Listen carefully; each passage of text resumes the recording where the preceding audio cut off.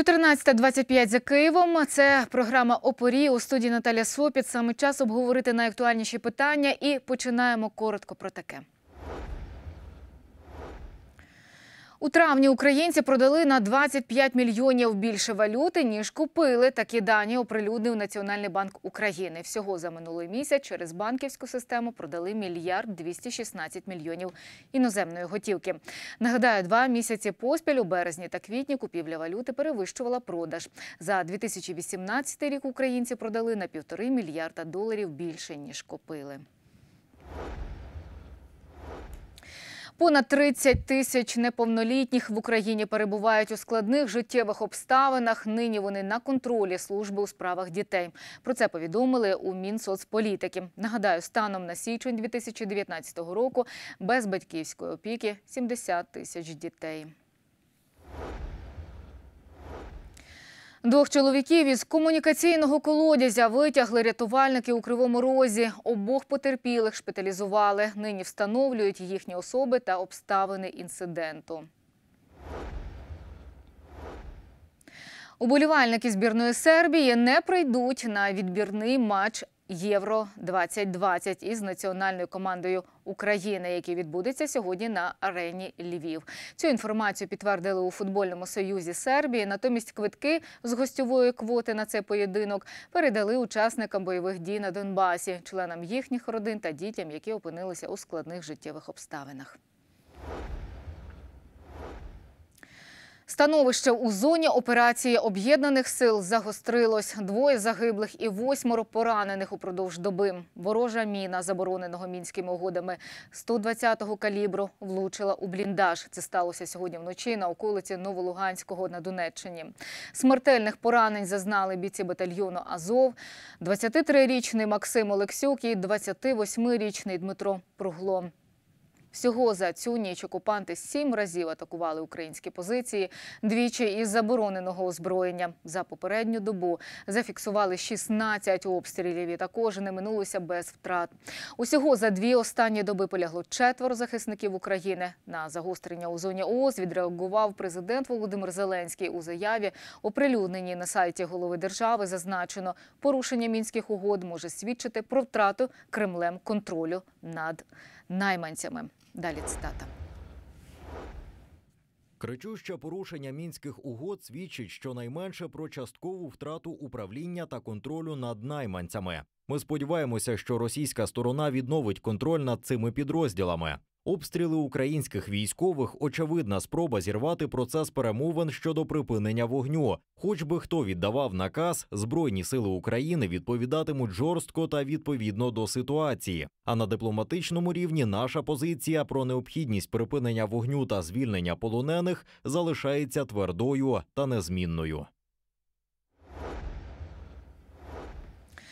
Становище на Донбасі, чергове порушення мінських угод Росією і підсумки засідання оновленої тристоронньої контактної групи у мінську, яке відбулось у середу. Будемо обговорювати із гостем нашої студії. Це експерт з міжнародних питань Микола Капітоненко. Вітаю вас, пане Миколо. Доброго дня. Як думаєте, чи достатня реакція президента України на загострення на Донбасі? Чи є у вас можливо якісь претензії до його цитати? Тому що у соцмережах вже розгорілися просто такі баталії між першими Да, особами. дуже багато, звичайно, критики вже довелося сьогодні прочитати на адресу цієї цитати цього формулювання, яке Зеленський обрав. Я думаю, що з одного боку, звичайно, перебільшений той е, зміст, який можна вкласти в ці, в ці слова. Ніякої зради там немає. Що мається на увазі, з моєї точки зору, це зайвий раз підкреслити якраз той факт, що Росія контролює дії бойовиків. І якщо вона хоче скористатися вікном можливостей для того, щоб е, спробувати знайти якісь зрушення в мирному процесі і взагалі в розв'язанні конфлікту на сході, то потрібно, звичайно, тримати вогонь під контролем, а краще, щоб його взагалі не було, бо це якраз фактор, е, який впливає безпосередньо на е, мирний процес. Чим більше буде жертв, чим більше буде ескалація на фронті, тим менше буде можливості у президента е, про щось домовлятися з Росією. А з чим може бути пов'язана ця ескалація, враховуючи те, що відбулися перші мінські зустрічі у форматі тристоронньої контактної групи, оновленої тристоронньої контактної групи, фактично з української сторони.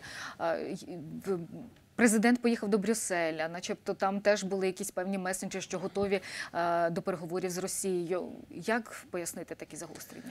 Я, наприклад, помітив, що якраз меседжі, які були озвучені в Брюсселі, вони дещо йдуть в розріз із тим, що було озвучено е, перед виборами, і що було озвучено потім для української аудиторії. Тобто, в мене складається враження, що президент намагається е, знайти дуже такий е, баланс е, нестабільний між з одного боку продовженням євроінтеграційної риторики, яка була за попередніх часів. А з іншого боку, реалізацію тих передвиборчих обіцянок, які він робив, про те, що він знайде шлях до миру на Донбасі. Це надзвичайно складне, складна проблема. І для того, щоб е, зробити її ще більш складною, можливо, е, ми спостерігаємо цю ескалацію на, фронті. З іншого боку, я б сказав, що якщо подивитися в цілому на статистику наших втрат. То можна подивитися, що такі е, загострення, коли були обстріли, і були Так. жертви, там більше 2, 2 3, 4 е, людини щодоби. Е, Вони бували і раніше. Тобто це не обов'язково не обов'язково частина якогось великого плану російського зірвати переговори чи То це дійсно позиції. свідчить про те, що сказав е, президент, що втратила російська сторона контроль Я терористами, припускаю, що абсолютно завжди є е, ем, ефект е, виконавця на, на нижчих рівнях, е, і я не думаю, що з Кремля повністю контролюється все, що відбувається, будь-які перестрілки, які відбуваються на Донбасі. З іншого боку, за великим рахунком, звичайно, Кремль ситуацію контролює, і це зрозуміло. Але тут е, я хочу підкреслити те, що не обов'язково те, що відбулося на фронті, е, пов'язано із політичними планами Кремля. Це може бути один з тих невдалих днів, коли кількість жертв більша, ніж е, звичайно, ніж в середньому. Ну і в соціальних мережах відразу почали з'являтися дописи як на підтримку президента, так і гнівні тези. Так Ірина Геращенко написала: цитую: Зеленський сподівається, що Російська Федерація не піде геть, не забере свої своєї зброї і техніки з української землі, не виведе своїх найманців, а цитую, відновить свій контроль над підрозділами. Відкрию таємницю, в РФ є повний контроль над так званою владою, так званих ОРДЛО і 400 кілометрів українського кордону. Ну а перша заступниця голови Верховної Ради. Додала тепер АП президента України у своєму офіційному повідомленні знімає відповідальність з Російської Федерації за вбивство українських солдатів.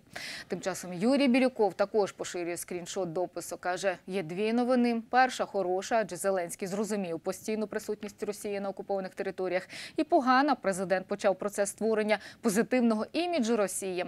Ви хотіли реванш, ви зробили його разом. Резюмує Юрій Бірюков.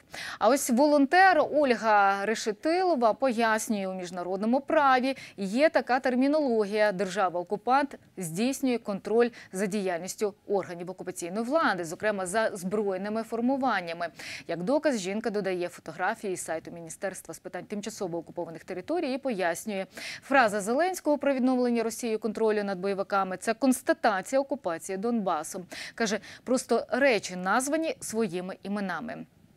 А голова правління громадянської мережі Опора Ольга Івазовська запитує: якщо Російська Федерація припинила здійснювати ефективний контроль, термін, який введено на рівні законодавства України щодо Донбасу, то це означає, що настав час розпочинати наступний етап звільнення окупованих територій.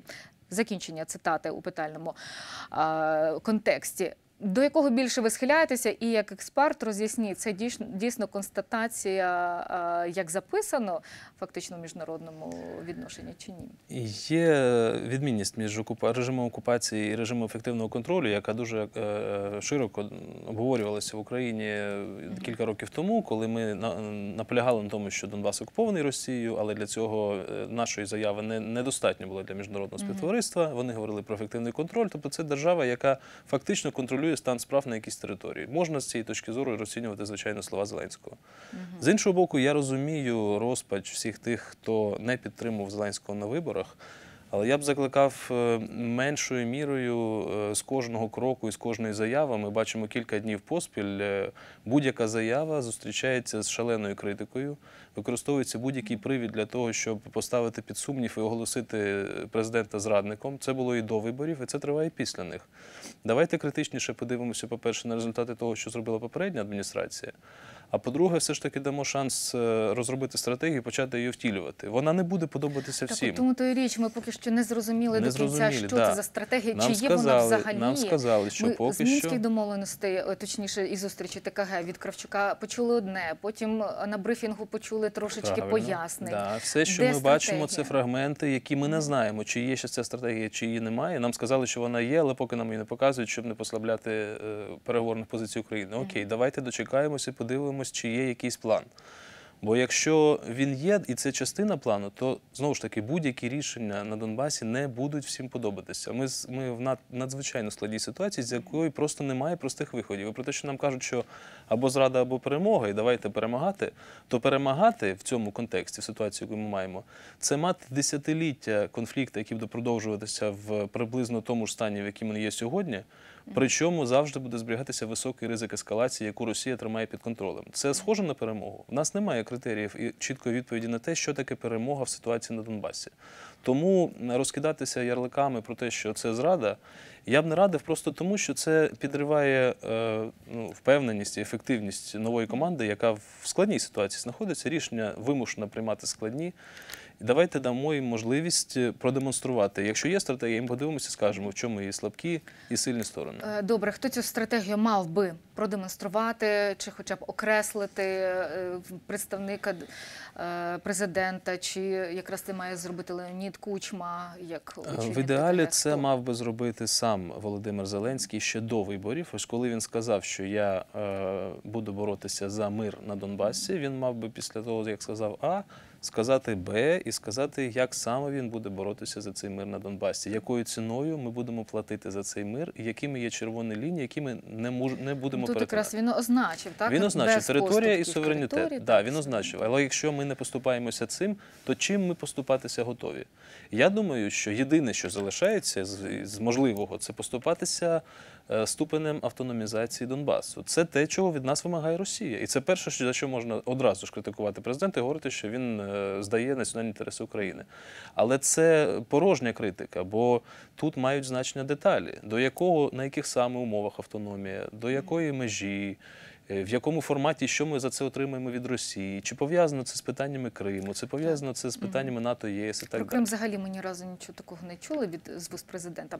Але до деталей і того, що було дійсно озвучено на мінських е, зустрічах е, у тристоронній, точніше, контактній групі. Отже, не стріляти у відповідь та зняти економічну блокаду з Донбасу. Підсумки зустрічі тристоронньої контактної групи у мінську неабияк збурили українське суспільство. Нагадаю, перемовний процес очолив другий президент Леонід Кучма, якого до делегації повернув Володимир Зеленський. За словами Кучми, уперше засідання у мінську відбулося конструктивно. Щодо пропозиції припинення вогню, голова ТКГ пояснив слід заборонити обстріл громадських об'єктів, тобто шкіл, дитячих садків. Група розробить пропозиції, а 19 червня. Затвердить. Тоді ж планують обговорити і зняття економічної блокади з, окупованої, е, з окупованих Донецької та Луганської областей. Отже, ці пропозиції, як ми розуміємо, із е, тези повинні спочатку бути написані і представлені 19 червня на наступній зустрічі. А Ці описані попередньо домовленості, так або бачення української сторони, вони мають якось на загал виставлятися чи ні? Як думаєте? Ем, да, звичайно, їх краще попередньо обговорити, і я так розумію, що це відбувається. І попередньо обговорити дуже їх важливо з нашими партнерами, зокрема з е, європейцями, німцями і французами. Бо це е, ми, е, шукаючи розв'язання конфлікту на сході, опинимось десь посередині між бажаннями різних сторін. І якраз питання зняття блокади це те, чого від нас хотіли б європейці, оскільки з їхньої точки зору е, конфлікт у нас має розв'язуватися саме за цим планом: більше автономії, тобто більше демократизації, бо вони бачать сильний внутрішній компонент в цьому конфлікті. Агресія Росії це зрозуміло, але вони бачать і е, конфлікт всередині держави теж. Більше автономії, зняття блокади, відбудова соціально-економічних зв'язків, і це як умова до реінтеграції. Надання особливого статусу недостатньо цієї е, розширеної більшої автономії. Розширений статус дуже абстрактне питання. Залежить від того, що саме має це на увазі, які права будуть мати місцеве самоврядування, які права вето будуть е, мати території з автономним статусом стосовно загальнодержавної політики, приміром на вступ України до НАТО. Е, Тобто це предмет переговорів. І якраз у ті заяви, Той, які що на сьогоднішній день є особливий статус, його Е, недостатньо? ні, його недостатньо, бо от він фіксує ситуацію конфлікту, який є на сьогодні. Добре, у мінських домовленостях прописано це те, що хоче російська Да. сторона. Умовно кажучи, те, що вони пропонують від імені бойовиків, те, що ми чули, так а, якоїсь автономії, там і таке інше. Ну це ж зміни до конституції, правильно Да, розумію? Так, але. Першочергово, що написано? Тут дискусія, ви ж розумієте, що весь цей час, всі ці роки, іде е, по пунктам виконувати мінські домовленості, чи з того пункту, який зручний російській стороні. По пунктах у нас що? Контроль над е, кордоном, правильно? Якого Ні. досі не відбулося. По як? пунктах якраз контроль е, над кордоном повертається після того, як розпочинається процес децентралізації. Є, і Ну, процес проста- децентралізації є він вже проста, Є проста річ. Мінські домовленості, по-перше, Україна е, підписала їх е, чи уклала, чи будь-яким чином можна це назвати, але вони є, є цей документ. Підійшовши до переговорів в не найкращій формі, тобто підготовка української сторони була найслабшою з усіх інших учасників. По-друге, мінські переговори і мінський е, мінськ 2 угода вона була підписана в надзвичайно важких е, Ми умовах. пам'ятаємо, мало не Да. 17 Ми- годин. ми фактично це фактично була е, так. були часткова капітуляція. Це що нас змусили підписати. Після цього ми сказали, що ми це виконувати не будемо, або будемо виконувати по-своєму. Окей, ми це зробили. Але позиція росіян спирається на те, що було підписано тоді. Сперечатися з приводу цих е, послідовності виконання пунктів мінських домовленостей можна, звичайно, до, до нескінченності. Але проблема в тому, щоб відповісти на питання, хто більше ви- ви- витрачає чи програє від продовження конфлікту в поточному стані. З моєї точки зору, найбільше програє Україна, бо конфлікт триває на нашій території, це наші люди і це наші інтереси. З огляду на це, ми маємо виступати з ініціативами, що треба змінити. І я з цієї точки зору розглядаю те, що було оголошено вчора Леонідом Кучмою. Ну і ще після поїздки до Мінська Леонід Кучма розтлумачив свою позицію. За його словами, економічна блокада насправді це лише заборона на перевезення товарів через лінію зіткнення, але люди мають право на 50 кілога- кілограмів ручної поклажі. Також е, він пояснив, що просто зупинити вогонь неможливо.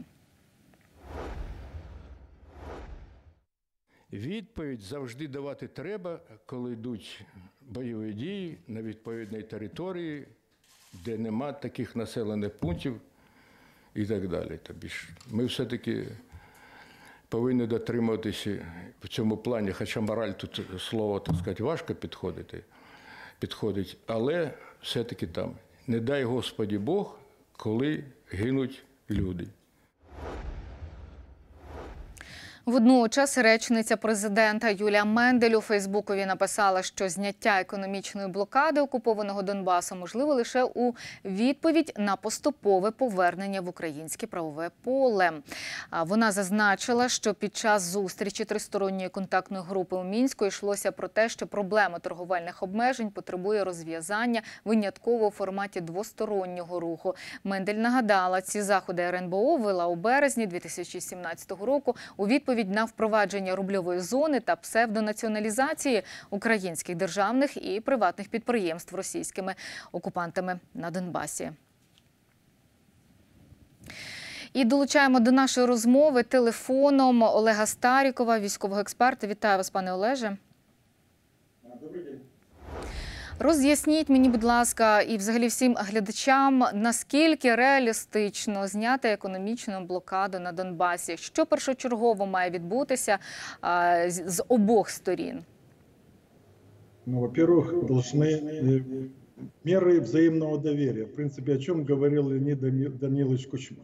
Мы прекрасно понимаем, что э, сейчас в Украине э, ведется вооруженный конфликт малой интенсивности, Который находится в прокси-фазе э, в виде, я же уже сказал, конфликта малой интенсивности. И окончить его можно только и дипломатическо-политическим путем. Потому что сама природа этого конфликта, она подразумевает, как только оккупационные войска, оккупационная администрация дает определенную команду, в принципе, э, выводят оттуда военные силы, воинскую силу, тогда можно начинать какую-то нормализацию отношений. До тех пор, пока э, ничего этого не будет, мы будем наблюдать, вот как уже в течение трех дней, э, эскалацию напряженности. Потому что видите, сколько уже обстрелов, сколько уже э, наших раненых, в принципе, и убитых. Поэтому само по себе Кремль сейчас таким способом делает таким показывает, что только с позиции силы он будет разговаривать с Украиной. Поэтому э, показывают президенту Зеленскому, что ему нечего тут, извините за сленг такой, ловить. Он будет выполнять то, что требует Кремль, и будет, э, э, ну я опять говорю в кавычках, говорю, плясать под его дудку. Поэтому сейчас самое главное, первое, отработать так называемые директивы в этих директивах должны проработать э, хорошо, то есть проработаны э, с радниками стратегического уровня, как дипломатами, как э, из числа высшего командного состава, также спецслужб и также разведки, для того, чтобы очертить вот эти директивы, очертить так называемые красные линии. Второе. Позиції, які озвучив Леонід Кучма, правильно, що будуть представлені, розроблені певні пропозиції, і на 19 червня вони будуть представлені а, тій стороні. Правильно? Да, да, да, я же про это и говорю. Мне дело в том, что сейчас нового, мы что сейчас нового увидели. Потому что я за 4 года, когда э, была предыдущая администрация, я ни разу не слышал слова директивы Группа ездила туда на трехстороннюю контактную, возвращалась, что-то было, что-то, э, какие-то комментарии. Но слово такое директивы, то есть это о чем говорит? Это говорит о том, что идет э, выработано какое-то стратегическое решение, которое стратегическое решение кем-то утверждено, но я так думаю, президента страны утверждено, а потом оно должно вынести на, вынести на РНБО. Ну и это, это и в принципе сегодня Бурбак правильно сказал, что мы парламентско-президентская республика, и головы фракций, мы эти, эти мероприятия мы должны увидеть. Это совершенно правильно, но до 19 числа, когда будет уже заседание, я так думаю, информировать о дорожной карте нецелесообразно. Почему? Потому что э, вы видите, что сейчас происходит в информационной сфере, и Российская Федерация ведет информационную войну против Украины. Любая, любая, любая э, кандидатура при, та, та, которая реально будет решать вопросы стратегического уровня, сразу дискредитируется. Это по органам власти. Я конкретно Ивана Михайловича Паршина говорю, как его. Это один из немногих профессионалов в военной сфере, который может сразу зайти на, на Министерство обороны и сразу же навести порядок. Но его дискредитировали. То же самое, любая утечка информации сразу же перекручивается, идет информационная атака. Поэтому сейчас э, самое основное э, узким кругом я ще говорю, професіонали височайшого. Тут ще варто зрозуміти оці директиви, які будуть представлені українською стороною, яким мають бути підписані між двома сторонами, це так представниками так званої ОРДЛО, е, чи ще й російською стороною, чи ще хтось має підписувати із представників ОБСЄ. Роз'ясніть, будь ласка.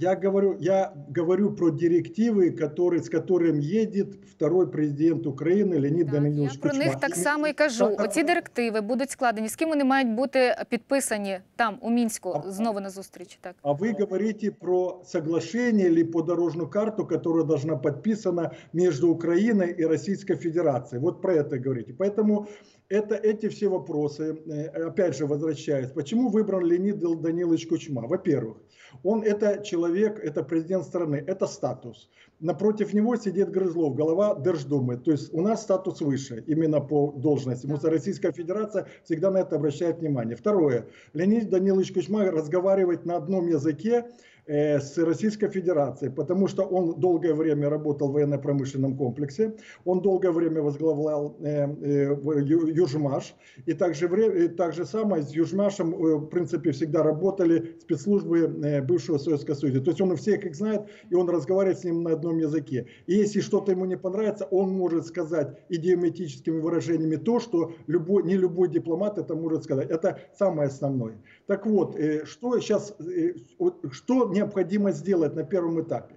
Выполнить первый и второй пункт э, так называемый Минска-2. Если мы эти первый второй пункт не выполним, мы к пунктам третьему, четвертому и там дальше мы не перейдем. Поэтому самая основная задача, я думаю, в тех, тех э, наработках той дорожной карты украинской стороны, сейчас оно идет, чтобы прекратить огонь. Ну, а я же еще раньше говорил, что российская сторона делает все возможное, чтобы это не было. Поэтому э, сейчас я так, честно говоря, не позавидую, я в кавычках беру Леониду Даниловичу, э, президенту Украины, чтобы э, остановить э, введение боевых действий. Это самое основное, что только можно сейчас сделать.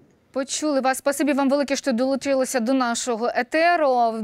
Я нагадаю, е, пан Старіков був з нами на зв'язку. Олег Старіков, е, військовий експерт. І е, тут до вас, пане Миколу, якраз таке уточнення, чи потрібно з кимось підписувати ту ж таки дорожну карту. Так, директиви ми там тут зрозуміли на, на нашій території їх узгоджуємо. Президент дає згоду. Я не знаю, як там це все відбувається, але тим не менше, коли приїжджають із певним певною дорожньою картою, з ким вони з якою стороною треба підписувати. Е, Підписати Щоб розуміти в разі невиконання, хто відповідає. Ми завжди встигнемо підписати щось. Е, Спочатку треба зрозуміти, е, що і на яких умовах ми хочемо підписувати. Бо якщо ми хочемо, ми, врегулювання конфлікту на Донбасі розпадається на кілька послідовних завдань. Перше з них це евак- евак- евакуація російського впливу. Росіяни мають піти звідти.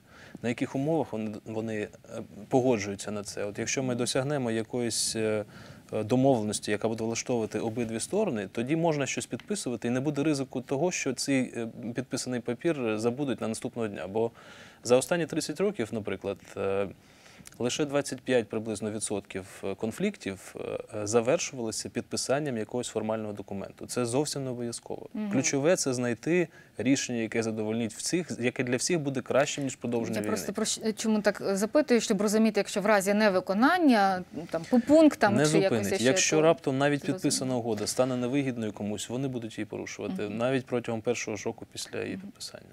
Ну і вдруге приїхали до Росії домовлятися про постачання газу. Лідер опозиційної платформи за життя Юрій Бойко та голова політради цієї політичної сили Віктор Медведчук сьогодні відвідали Санкт-Петербург, де провели перемовини з головою Газпрому Олексієм Міллером.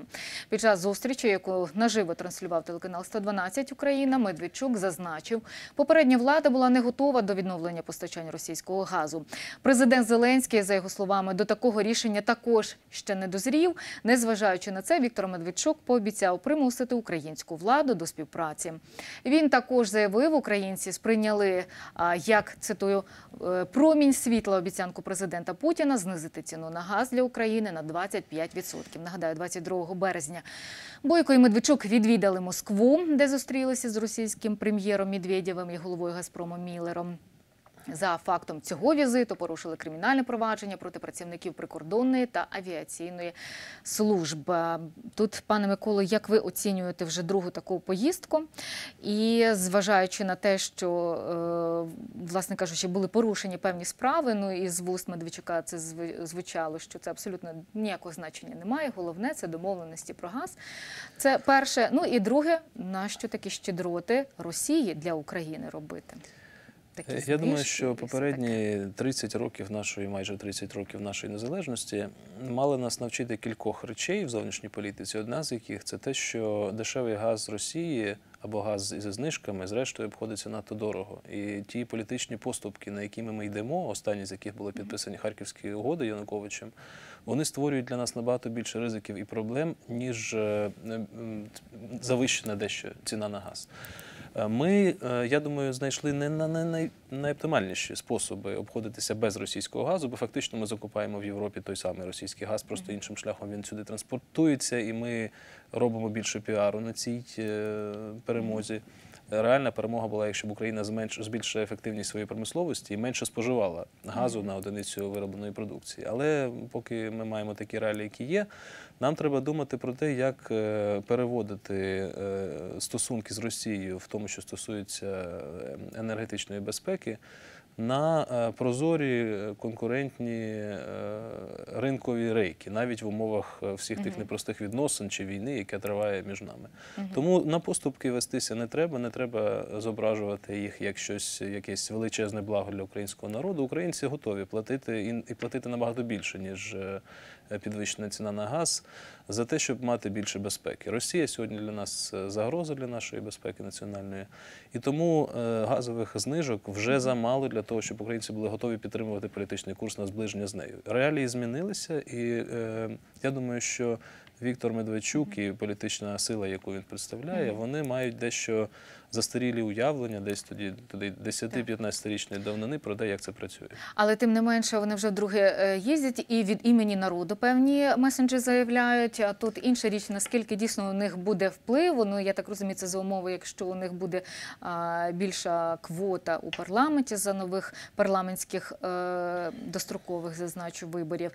Е, наскільки дійсно це оцей мається на увазі вплив, чи ще якісь є? Зараз жодного мандату немає, жодних офіційних посад, жодного права представляти позицію народу України. Почекаємо результатів парламентських виборів. Е, Я не думаю, що щось принципово зміниться. Да, буде невеличка фракція. Але знову ж таки, я не думаю, що будуть сильні позиції ані в парламенті, ані в уряді. І впливу на формування української зовнішньої політики політики в сфері безпеки ця такий світогляд і така політична сила е, мати не буде. Тому я думаю, що це скоріше треба розглядати як передвиборчі кроки, ніж як якась продумана стратегія про те, як е, отримати для України е, тривалі е, постачання дешевого газу з Росії і нічого за це не віддати.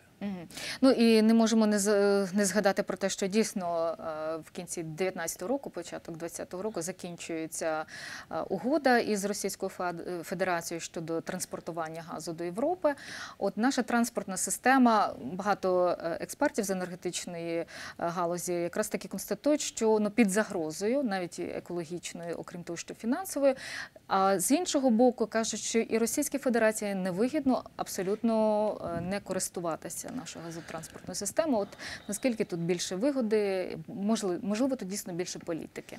Складна для нас ситуація, бо е, ще минулого року приблизно е, вважалося, краще було виходити з того, що буде добудований газопровід Північний потік 2 який різко Навіть якщо він буде добудований, все одно він вповні не зможе да, працювати. Він, би, так, він не зможе транспортувати необхідну навіть е, вкупі з південними газопроводами необхідну кількість газу до Європи, і росіяни все ще е, потребуватимуть української газотранспортної системи, але в мінімальному обсязі. Тобто, якщо б е, проєкт був реалізований так, як було заплановано вже в 2019 році, то ми б мали зовсім іншу ситуацію, підписуючи з росіянами нові, нові угоди, починаючи з 2020 року.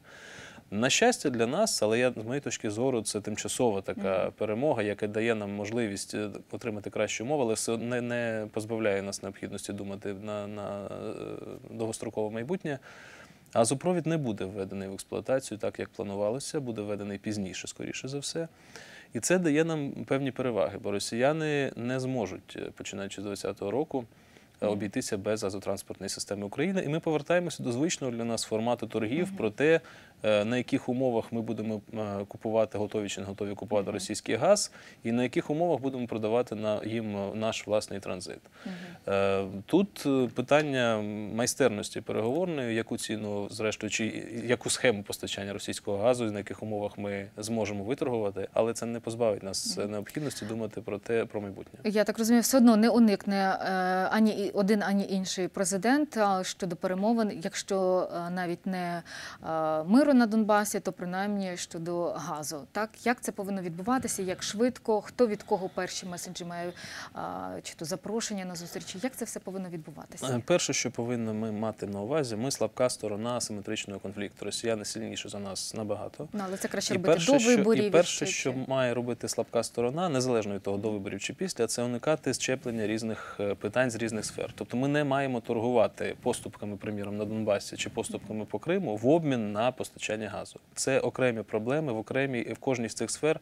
Ми маємо ну, мати справу з Росією окремо. Крім того, на нашому боці мають бути міжнародне право, і воно є. Його треба використовувати взагалі юридичні інститути і механізми і формати багатосторонньої співпраці. Якщо ми навчимося цим користуватись, то ми зможемо отримувати максимально сприятливі для себе результати, навіть маючи справу із державою, яка набагато сильніша за нас в кожній окремо взятій сфері. А убезпечити себе теж таки енергетична, як ви кажете, безпека. На якому рівні це повинно відбуватися? Законодавчому? От ми, наприклад, курс на НАТО і ЄС, ну це таке умовно кажучи, зафіксували в конституції. Щодо якраз таки стосується енергетичної безпеки, це десь повинно бути зафіксовано, щоб і захищено в майбутньому ми могли і в міжнародних можливо інстанціях. І я б порадив менше формальностей. Ми чомусь так багато уваги приділяємо правильним словам і правильним формулюванням Конституції, але не виконуємо цього. Менше формальностей, менше записів в Конституціях і більше реальних кроків по реформуванні е, промисловості, про тому, щоб ми споживали менше газу, і тоді просто у нас буде е, менша залежність від нього. І по тому, щоб ми перетворювалися на нормальну правову демократичну державу, в якої буде набагато більше шансів вступити до НАТО навіть без жодних записів в Конституції, без жодних ре- референдумів, ніж те, що ми маємо сьогодні, коли всі на кожному кроці про це говорять. якісь певні так е, Але- пропорції, які повинні бути в стратегічному курсі України є Ми щодо енергетичної незалежності. Да, все щодо- задекларовано, все. Так. І енергетична залежність, і НАТО, і євроінтеграція, все про це все сказано достатньо. Тепер потрібні справи. Достатньо про це дуже голосно і дуже багато говорити. Європейцям, натівцям і росіянам, в принципі, теж е, е, важливо бачити, що змінюється в Україні фактично. І тоді вони будуть змінювати своє Просто ставлення бачення до нас. різні. Хтось бажає Да. контролю з одного Звичайно. боку, хтось іще.